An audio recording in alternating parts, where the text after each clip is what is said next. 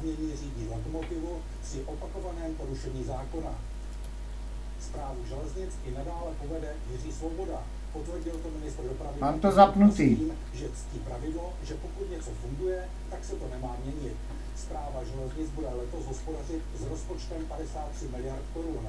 Všechny důležité stavby, které už byly zahájeny, poběží dál, ale u zhruba sedmi projektů dojde k posunu v čase.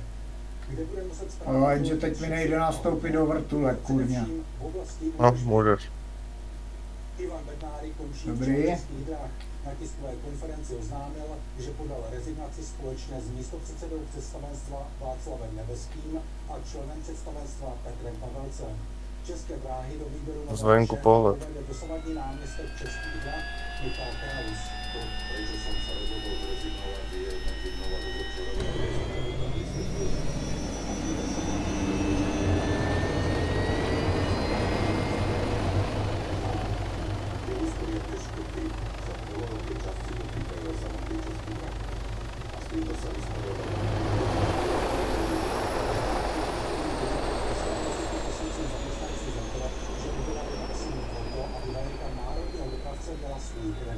Byl šéfem od prosince roku 2020. Na českých kolejích se podle serveru dopravy CZ objeví v květnu první osobní vlak